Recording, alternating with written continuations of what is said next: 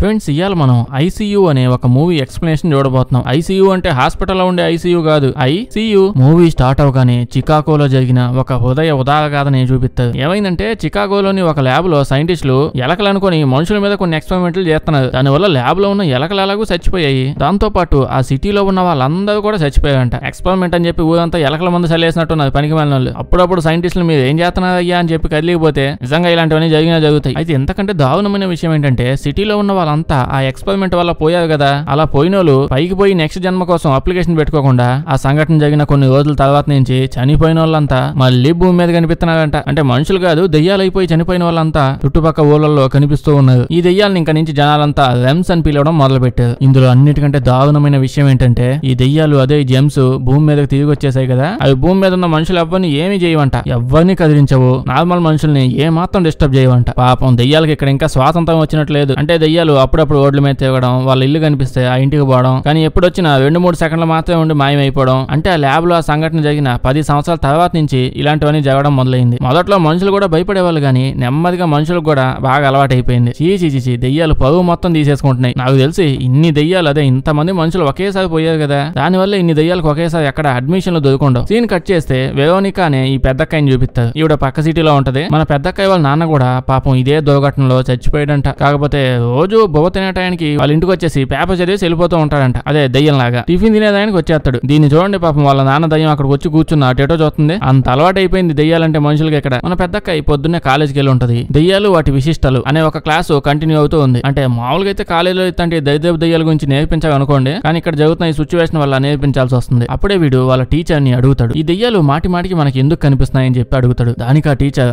ఏమో నాకు తెలియదు అని చెప్తాడు దానికి వాడు దీని వల్ల అంటే ఈ దెయ్యాల వల్ల మనకి ఏమైనా హాని ఉందా అని అంటే అప్పుడు టీచర్ నాకేం తెలుసు నన్ను ఎందుకు అడుగుతున్నావు మాటి మాటికి? అని అంటాడు. ఏమీ తెలియకుండా ఈ టీచర్ అట్ అయిపోయాడు ఈ సబ్జెక్ట్కి. లంచ్ టైంలో అదే బొవ తినే టైంలో మన పెద్దక్క కిక్ అనే ఈడ్ని చూస్తూ ఉంటది. ఈ కిక్ గాడికి ఈ దెయ్యాల మీద చాలా ఇంట్రెస్ట్ రెగ్యులర్ దెయ్యాలు కాదండి దిగ్గుసేదం లేకుండా భూమి మీద పడి తిరుగుతా ఉన్నాయి కదా. ఈ కొత్త దెయ్యాలు వీటి మీద చాలా ఇంట్రెస్ట్గా ఉంది. ఈ కిక్కు గాడిని వాడి పాత స్కూల్లో నుంచి బయటికి దోసేశారంట. కానీ ఎందుకు దోసేసావో ఇప్పటిదాకా ఎవరికి తెలియలే. నైట్ అయ్యాక ఇంటికి వెళ్ళిపోయాక మన పెద్దక్కయ్య ఇంటి పక్కనే ఐస్ స్కేటింగ్ అలా చేసుకుంటూ ఉంటది. చలికాలం కదా కొలను కాస్త ఐస్ గడ్లా మారిపోయింది. అలా ఐస్ స్కేటింగ్ చేస్తూ తన నాన్నతో ఉన్న జ్ఞాపకాలన్నింటినీ గుర్తు తెచ్చుకుంటూ ఉంటది. టిఫిన్ చేసేటప్పుడు పక్కనే వచ్చి కూర్చుంటే మొహం కూడా చూడదు కానీ నైట్ అవగానే జ్ఞాపకాలు గుర్తొచ్చేస్తున్నాయి ఆ తర్వాత పెద్దక్క పోయి స్నానం చేస్తుంది. అంత చలికాలంలో స్నానం కూడా చేస్తా స్నానం చేస్తూ ఉంటే అప్పుడే పక్కనే ఒక కొత్త దెయ్యం కనిపించింది దాన్ని చూడగానే పెద్దక్కయ్య భయపడిపోయి పడిపోద్ది. ఆ దెయ్యంగాడు అద్దంలో చూస్తూ ఏదో రాస్తూ ఉంటాడు. అయినా ఈ దెయ్యంగాడు బట్ట లేకుండా ఎందుకు దిగుతున్నాడు? ఆల్రెడీ దెయ్యాలు పరువు లేకుండా దిగుతున్నాయి. ఇప్పుడు సిగ్గు కూడా వదిలేసినట్టున్నాడు వీడు వాడు అలా అద్దంలో ఏదో రాసేసి బట్టలేసుకోలేదు కదా అందుకే సిగ్గుపడి మాయమైపోతాడు. పెద్దక్కయ్య అది ఏంటి అని చూస్తే దాని మీద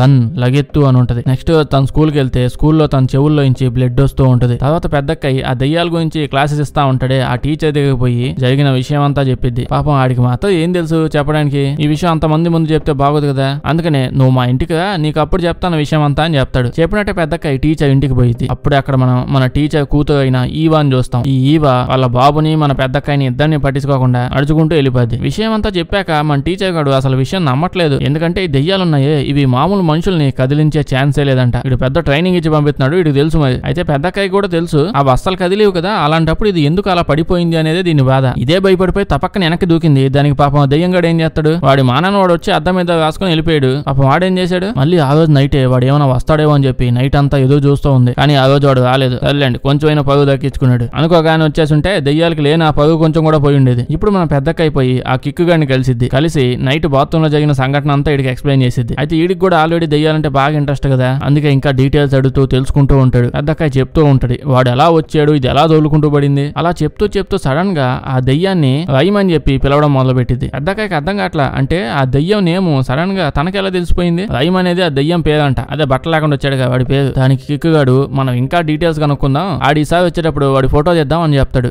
రెడీగా వచ్చి సెల్ఫీ అనగానే సెల్ఫీ ఇచ్చేస్తాయి మరి. అమ్మ బాబు ఇచ్చిన ఇచ్చేస్తాయి. అయితే ఆ దెయ్యాలు ఫోటో తీయొచ్చు కానీ మామూలు కెమెరాతో మామూలు ఫోన్లతో ఫోటోలు తీయలేదు. ఈ ఫోటో తీయాలంటే వాళ్ళకి స్పెషల్ కెమెరా ఏదో కావాలి. ఈడెవడో ఇట్లాంటి స్పెషల్ కెమెరాలు తయారు చేస్తానంటే వాడి దగ్గర పోయి వీడి చేత చేయించుకుంటారు. ఈ వ్యాపారం ఏదో బాగున్నట్టుంది. ఇలా వీడి దగ్గర నుంచి స్పెషల్ కెమెరా తీసుకొని దాన్ని బాత్రూమ్లో సెట్ చేసిద్ది. అంటే ఏంది? దానికి అర్థం ఏంది? ఒకసారి బాత్రూమ్కి వచ్చాడు కదా అని చెప్పి మాటి మాటికి బాత్రూమ్ లోకే వస్తాడా? అబ్బాబ్బాబ్బా మరి చీప్గా చూస్తున్నాడు వాడిని. వాడు బట్టలు వేసుకోకుండా వచ్చాడుగా? అందుకే ఇదంతా జరుగుతున్నట్టుంది. ఆ తర్వాత బాత్రూమ్లో పెట్టేశాక కెమెరా వాడి కోసం వెయిట్ చేస్తూ ఉన్నది. వాడేమో ఎప్పటికీ రావట్లేదు. కాసేపటికి పెద్దక్కాయికి హాల్లో నుంచి ఏవో సౌండ్లు వినిపిస్తూ ఉన్నాయి. అమ్మయ్య బాత్రూమ్లోకి రాలేదు అజ్జాలు అసలు ఈ సౌండ్స్ ఏంటా అని చెక్ చేయడానికి లోపలికి అలా వెళ్తది. చెక్ చేస్తూ ఉంటే హాల్లో ఉన్న అద్దంలో ఎవరో మనిషి కనిపిస్తాడు. పెద్దకాయ భయంతో తట్టుకోలేక లగెత్తుకుంటా కిక్కు దిగిపోయింది ఆ కిక్కుగా ఎవరో కిందకు వచ్చే పదా పదా అని చెప్పి ఈయన కూడా లాక్కొని కిందకు వస్తది కిందకు వచ్చాక చూస్తే అప్పుడు తెలిసింది వచ్చింది ఎవరో కాదు పెద్దకాయ వాళ్ళ అమ్మ. ఆడు పాపం హాల్లో కూర్చొని అలమాగా దుడుచుకుంటుంది. ఇది వీళ్ళ అమ్మని చూసి దయ్యమని భయపడిపోయింది. పెద్దకాయ ఒక్కదయ్యే పాపం దయ్యాల పదో కాపాడుతున్నట్టుంది. అప్పుడప్పుడన్నా భయపడి ఈసారి పైనుంచి ఏదో సౌండ్ వస్తుందని చెప్పి పరిగెత్తుకుంటా బాత్రూమ్ దిగిపోతే ఈ దరిద్రుడు నిజంగానే మళ్ళీ బాత్రూమ్ దగ్గరికే వచ్చాడు. వెంటనే కిక్కుగడు ఫోన్ తీసి వీడి ఫోటోలు తీయడం మొదలు పెట్టాడు ఇంకెందుకు కొంచెం మేకప్ వేసి లైట్ వేసి తీయండి. కరెక్ట్ వస్తుంది ఫోటో ఆయన స్పెషల్ కెమెరా ఏదో అన్నాడు మామూలు ఫోన్ తోనే తీస్తున్నాడు కదా. ఓకే కొత్త యాప్ ఏదో వచ్చి ఉంటది డౌన్లోడ్ చేసి ఉంటాడు. ఈ దెయ్యంగాడు చూస్తూ చూస్తూ ఉండగానే చాలా భయంకరంగా మారిపోతూ ఉంటాడు. అప్పుడే ఓ అండర్వేర్ వేసుకొని వచ్చాడు అనమాట వాడు ఇంకా భయంకరంగా మారుతూ సడన్గా వీళ్ళ మీద దూకేస్తాడు. దానివల్ల సడన్గా రూమ్లో కరెంట్ పోయింది ఒక్కసారిగా చీకటి అయిపోవడం వల్ల ఆ దయ్యంగాడు భయపడిపోయి సడన్గా అక్కడి నుంచి మాయమైపోతాడు. వీళ్ళిద్దరు అయ్యో ఎక్కడికి పోయాడు? అప్పుడు ఎందుకు వెళ్ళిపోయాడు? అని చెప్పి వెతుకుతూ ఉంటారు ఆ దయ్యం గురించి. ఈ సినిమాలో మనుషులు చూసి భయపడాలా దయ్యాన్ని చూసి భయపడాలా అర్థం కాట కిక్ గాడు ఏం కనిపెడతాడంటే ఈ బ్రెయిన్ గాడు అదే దయ్యం గాడు ఉన్నాడే. వాడు నాలుగు సంవత్సరాల క్రితమే ఒక అమ్మాయిని చంపేశాడంట. ఈ దయ్యంగాడు నాలుగు సంవత్సరాల క్రితమే మ్యారీ అనే ఒక అమ్మాయిని కలిశాడు. వాడు కలిసినప్పుడే లాస్ట్గా జనాలు ఆ అమ్మాయిని చూశారు. ఆ తర్వాత అమ్మాయి చనిపోయింది. అయితే చనిపోయిన ఈ అమ్మాయి తన పుట్టినరోజుకి కేవలం ఒక రోజు ముందు చనిపోయింది. అప్పుడే వీళ్ళకి ఏం తెలిసిద్దంటే మన పెద్దక్కయ్య పుట్టినరోజు కూడా ఆ అమ్మాయి పుట్టినరోజే అని. ఆ తర్వాత వీళ్ళిద్దరు పోయి లైబ్రరీలో వెతుకుతూ ఉంటారు. అబ్బాయి మన దయ్యంగాడి గురించి కాదు. వాడినైతే బాత్రూంలో ఎతికేవాలి కదా. వాడి గురించి ఇంకేమైనా డీటెయిల్స్ ఉంటాయా అని చెప్పి తెలుసుకోవడానికి ట్రై చేస్తూ ఉంటారు. అప్పుడే సడన్గా లైట్స్ మినుకు మినుకుమంటూ ఉంటాయి. పెద్దకాయ కాపీ కింద పడిపోద్ది. కింద పడిపోయిన పుస్తకం పైకి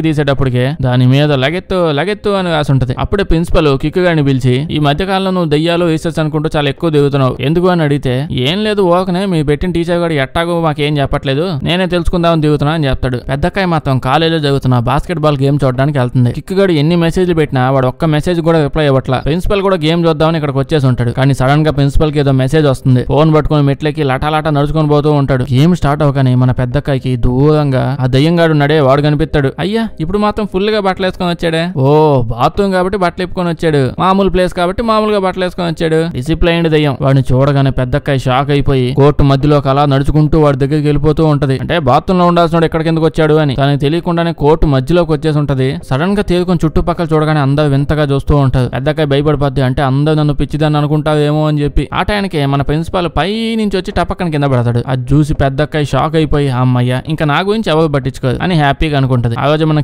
కిక్కుగాడు పెద్దకాయతో చెప్తాడు. ప్రిన్సిపాల్కి నేను నిజానికి జరిగిందంతా చెప్పాను. మనకి ఫుల్గా కోఆపరేట్ చేస్తా అని కూడా చెప్పాడు. కానీ సడన్గా కామెడీగా కోర్టు మధ్యలో పడిపోయి ఎలా చచ్చిపోయాడు నాకు అర్థం కావట్లా అంటాడు. అప్పుడు మన పెద్దకాయ కిక్కుగాడితో జరిగిన స్టోరీ అంతా చెప్తుంది. అదేంటంటే మన పెద్దకాయ వాళ్ళ నాన్న చచ్చిపోయాడు కదా. ఆ రోజు ఉద్యోగానికి వెళ్ళేటప్పుడు వాళ్ళ నాన్నతో మన పెద్దకాయ నువ్వు అంటే నాకు ఇష్టం లేదు అని చెప్పిందంట. అంటే ఇప్పటిదాకా కూడా ఇష్టం లేదా? అంటే టిఫిన్ చేసే టైం వస్తున్నప్పుడు మొహం చూడట్లేదు కదా. అయితే ఆ రోజు ఆఫీస్కి లేట్ అయిపోతుందని చెప్పి వాళ్ళ నాన్న కారు వేసుకుని ఆఫీస్కి పోయాడంట. కానీ ఆ ఒక్క రోజు మా నాన్న గాని కారులో కాకుండా ట్రైన్లో వెళ్ళుంటే ఆ ప్రమాదం నుంచి తప్పి తప్పించుకొని ఉండేవాడు. ఇదంతా నా వల్లే జరిగింది అని చెప్పి బాధపడుతూ ఉంటది. ఆ? ఇదేంది? ఇదెక్కడ లాజిక్ అనుకుంటున్నావా? ఏమో మరి నాకు తెలియదు కనీసం ఈవిడ కన్నా తెలుసో తెలియదు అప్పుడే మన కిక్కుగాడు వాడి స్టోరీ కూడా చెప్తాడు. అంటే వాళ్ళ నాన్న కూడా సేమ్ అదే ఇన్సిడెంట్ రోజు చచ్చిపోయాడు కానీ కానీ మన కిక్కుగాడు వాళ్ళ నాన్న మాత్రం బొవ్వ తినేటప్పుడు కానీ బాత్రూమ్లో కానీ ఒక్కసారి కూడా ఇక్కడికి వచ్చి వీడి మొహమే చూడలేదంట. మా బాబా ఆత్మ ఏ ఊర్లో దిగుతున్నా నాకు అస్సలు తెలియట్లేదు. అది తెలుసుకోవడానికి నేను ఎప్పుడు దెయ్యాల గురించి ఎక్కువ రీసెర్చ్ చేస్తూ ఉంటానని చెప్పి చెప్తాడు. అప్పటికే నైట్ అయిపోయి ఉంటది. నైట్ టైం కిటికీ క్లోజ్ చేస్తూ ఉంటే కిటికీలోంచి ఆ దయ్యం గడు మళ్ళీ వస్తాడు.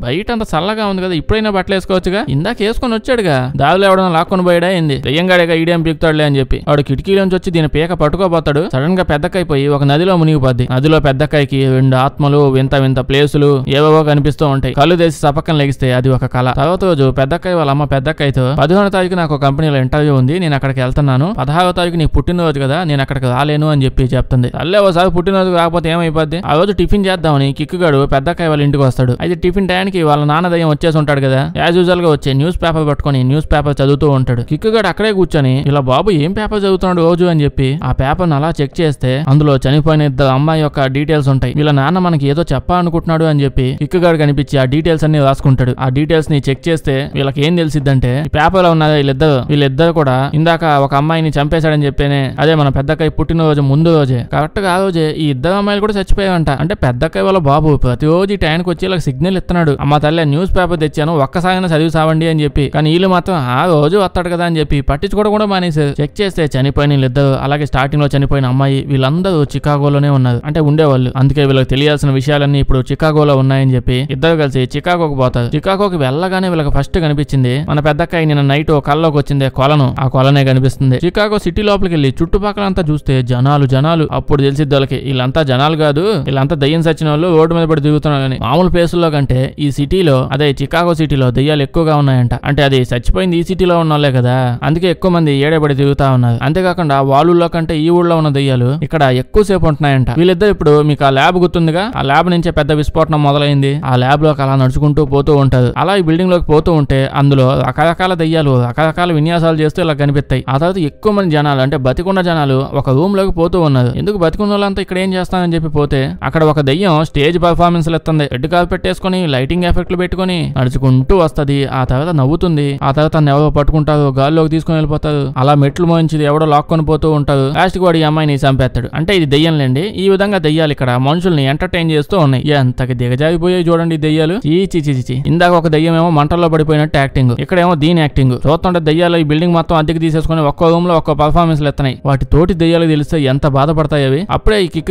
అక్కడ జరిగిన ఈ సంఘటన మొత్తాన్ని పరిశీలిస్తున్న ఒక వ్యక్తి కనిపిస్తాడు. అతను ఎవరో కాదు ఆ ల్యాబ్ యొక్క హెడ్ డాక్టర్ డాక్టర్. వీడు వాడే అని తెలుసుకొని మన కిక్ ఆయన్ని పేరు పెట్టి పిలుస్తాడు. ఆయన ఎవడో పిలుతాడని తెలియగానే లగెత్తుకుంటూ అక్కడి నుంచి పారిపోతూ ఉంటాడు ఆయన. వీళ్ళిద్దరు కూడా అతని వెనకాలే పరిగెడుతూ ఉంటారు. అప్పుడే ఆ డాక్టర్ వెనక దిగి తన జోబులోంచి తుపాకీ తీసి నా వెనకాల వస్తే కాల్ చేస్తా అని చెప్పి బెదిరిస్తాడు. ఆ గన్ను చూసి మన పెద్దక్కయ్యి రాదా దమ్ముంటే నా గుండెల మీద కాల్చవా? అని చెప్పి అరుస్తా ఉంటది. ఇదేమన్నా దీన్ని టంగుటూరి వివాసనంగా ప్రకాశం బంధువులు అనుకుంటుండే ఏంది? వాడు నిజంగా ఎక్కడ కాల్ చేస్తాడేమో అని చెప్పి మన కిక్కు గడు కొంచెం వెనక తగ్గుతాడు. ఇదేమో నా ప్రశ్నలకు సమాధానాలు తెలియకుండా నేను బతుకుండి మాత్రం ఏం లాభం? నువ్వు నన్ను చంపేయి అని చెప్పి పాపం బలవంతం చేస్తూ ఉంటదా ముసలాయిని దాంతో డాక్టర్ ఏంది నన్ను బెదిరిస్తున్నావేంది? నేను కాల్చనని చెప్పి ఒక స్టోరీ చెప్పడం మొదలు పెడతాడు ఎప్పుడైతే ఆ హిరోసిమా నాగసాకిలో పేలయ్యే అక్కడ బాంబులు పేలిన తర్వాత నుంచి అక్కడ చనిపోయిన మనుషుల యొక్క నీడల లాంటివి అక్కడ ఉన్న మట్టి వల్ల ఏర్పడ్డాయంట. అంటే చుట్టుపక్కల ఉన్న ఇళ్ళ యొక్క గోడల మీద. వీటన్నిటికి అర్థం ఇవి బతుకున్న మనుషులతో ఏవో చెప్పాలి అని అనుకుంటున్నాయి అని ఈ డాక్టర్ కనిపించిందంట. అట్లాంటివన్నీ నిజంగా తయారు చేద్దామని చెప్పి డిసైడ్ అయిపోయాడంట. ఈ ఎక్స్పెరిమెంట్లో మనుషులు చావు దాకా వెళ్ళి వాళ్ళ చావును చూసి వెనక్కి వచ్చేస్తారంట ఇలా ఎక్స్పెరిమెంట్లో ఏవేవో కలిపి ఏదేదో చేస్తూ ఉంటే లాస్ట్కి తెలియకుండా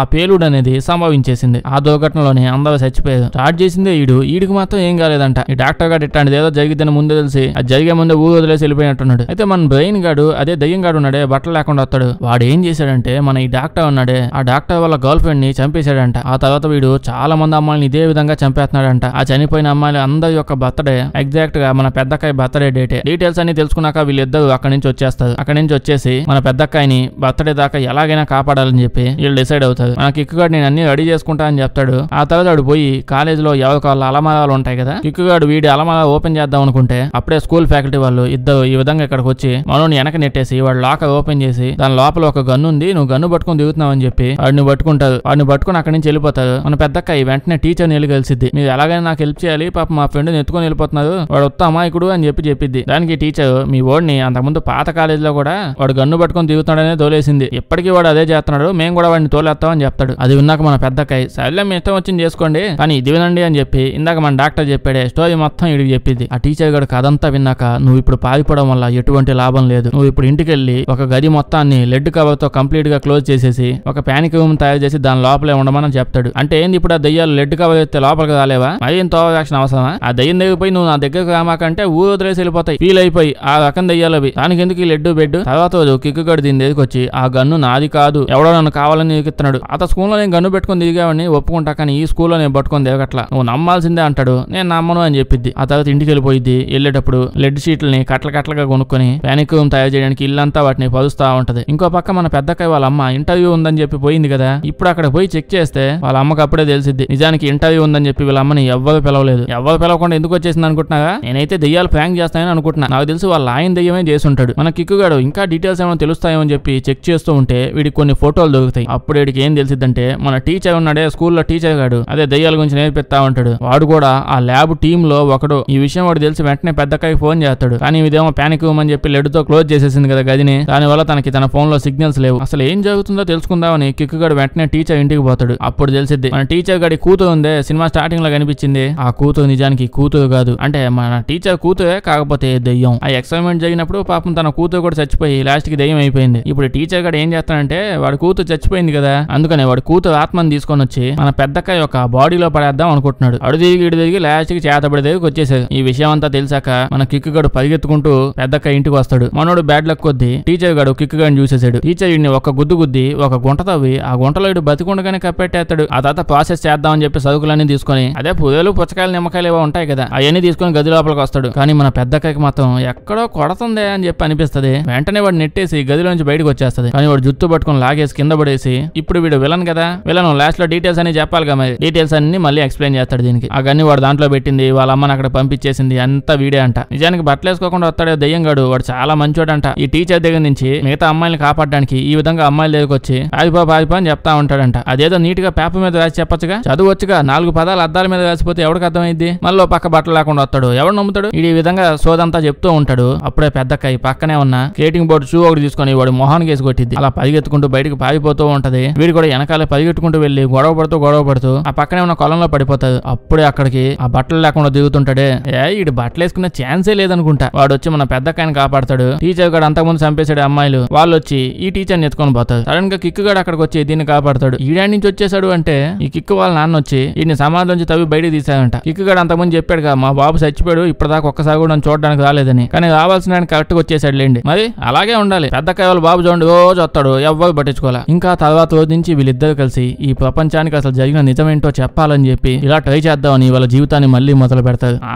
ఒక్క ఇంకా చెప్పడానికి మాత్రం ఏముందిలేండి. మీకేమైనా ఉంటే చెప్పేయండి. అంటే వీడియో నచ్చుంటే ఒక లైక్ కొట్టండి. అలాగే మీకు ఏ మూవీస్ ఎక్స్ప్లెనేషన్ కావాలో కామెంట్స్ మెన్షన్ చేసి చెప్పండి. కొత్త సినిమాలు చెప్పండి. వీడియో బాగా నచ్చుంటే మీ ఫ్రెండ్స్కి షేర్ చేయండి. ఇలాంటి వీడియోస్ కోసం మన ఛానల్ని చెక్ చేసి చూడండి. సబ్స్క్రైబ్ చేసి పక్కన ఉన్న గంట కొట్ట మర్చిపోకండి. లేకపోతే వీడియో పెట్టినప్పుడు నోటిఫికేషన్స్ రావు. Thank you